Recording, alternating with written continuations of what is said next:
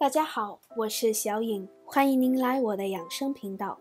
俗话说得好，春吃芽，夏吃瓜，秋吃果，冬吃根。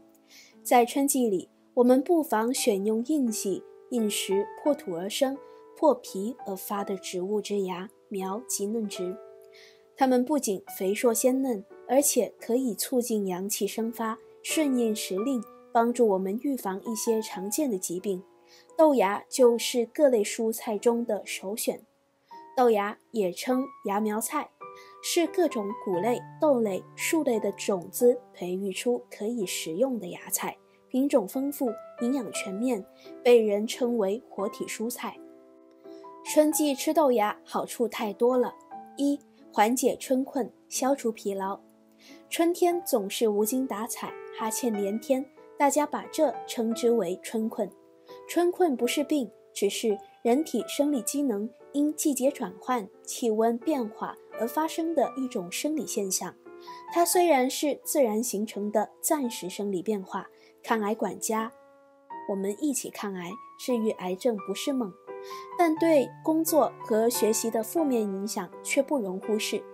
而黄豆发芽后，天门冬粒酸急剧增加，所以人吃黄豆芽能减少体内乳酸堆积，消除疲劳感，缓解春困。二、保护血管，补气养血。一个冬天的进补导致了人体容易阴虚火旺，而且体内堆积的油脂过多。黄豆芽具有清热明目、补气养血、防止毛细血管出血和减低胆固醇、保护血管的作用。而黄豆经过发芽之后，营养丰富，又含有膳食纤维，很是适合早春使用。早春也是维生素缺乏的季节，尤其是维生素 B 二，多吃黄豆芽恰好可以很好的解决这些问题。黄豆芽具有清热明目、补气养血、防止牙龈出血、心血管硬化及降低胆固醇等功效。三、清热润肤。豆芽能清心泻火、清热除烦，能够消除血液中的热毒，适宜于容易上火的人士食用。中医认为，黄豆芽味甘性凉，入脾、大肠经，具有清热利湿、消肿除痹、去黑痣、润肌肤的功效，对脾胃湿热、大病秘结、高血脂均有食疗作用。春天风多，气候干燥，建议小伙伴们吃点黄豆芽，可以避免内脏上火，清心养生。四、健脾生发阳气，豆芽比豆类更适合健脾化湿，尤其对于身体本身比较弱的人来说，直接吃豆类可能吸收不了，吃豆芽就可以解决这个问题。芽菜有助于生发阳气，适合春天食用。同时，芽菜还有清热利湿的效果，和虾搭配，更好的发挥虾肉温阳的功效。五、疏肝解郁，这个时节可以多吃春季发出来的豆芽，有健脾化湿，从而生发阳气的效果。春季吃豆芽可以疏肝解郁的作用，对于肝气郁滞的胁痛或胃脘疼。痛有一定的缓解作用。六、防感冒助生长。人在春天易发生病毒性感冒，因此春天吃黄豆芽还能增强人体抵抗病毒感染的能力。黄豆芽富含维生素 B 二，在维生素 B 二缺乏症多发的季节，多吃黄豆芽可有效的防治维生素 B 二缺乏症，而且。黄豆芽富含维生素 C，对生长发育、预防贫血等都有好处。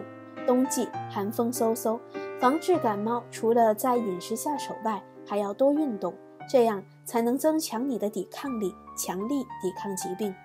春季是吃豆芽最好的时间，豆芽里面的营养价值很高，具有清热明目的功效，同时也可以预防贫血。每天坚持吃二百克豆芽，对身体有好处。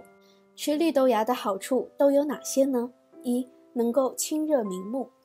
豆芽具有清热明目的功效，只要经常吃豆芽，就可以去除火气，缓解肝火旺盛，同时也减少患上疾病的产生，比如高血压、心脑血管疾病等。另外，吃豆芽能够预防缺铁性贫血的产生，为身体补充足够的血量。二、可以减肥。绿豆芽里面含有大量的膳食纤维，属于低热量、低脂肪的食物，适合于减肥人群。对于减肥的人群来说，可以把豆芽和醋搅拌在一起服用，能够分解脂肪。中医认为绿豆芽性凉，具有解毒的功效，尤其是绿豆发出来的芽，清热降火功效是非常显著的。三、具有促进排便的功效。绿豆芽里面含有大量的膳食纤维，适合于便秘的人群。膳食纤维不容易被人体消化以及吸收。能够促进胃肠道蠕动，从而加快排便。为了减少毒素在身体里面的堆积，绿豆芽在发芽的过程中会产生维生素 C 和维生素 E，具有美容养颜的功效，防止黑色素的沉积。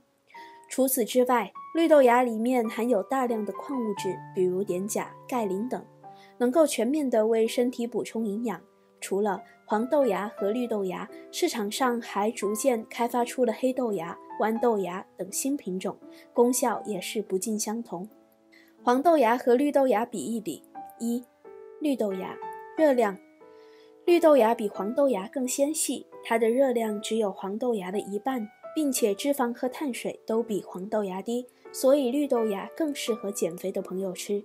营养，黄豆芽的蛋白含量是绿豆芽的两倍多。钾含量高达绿豆芽的五倍，因此黄豆芽的营养价值更高呢。口感，绿豆芽口感软，黄豆芽清脆。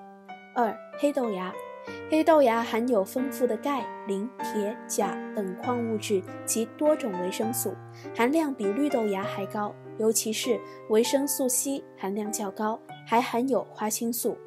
四、豌豆芽。豌豆芽具有清热解毒、利尿消肿和止痛止泻的功效，经常食用，晒黑的肌肤就可以得到修复，我们的皮肤也会变得清爽不油腻。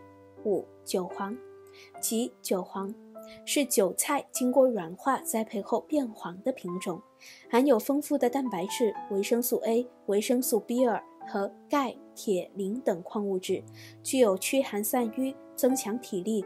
和增进食欲的功效，中医认为韭黄性温味辛，具有很好的补肾效果。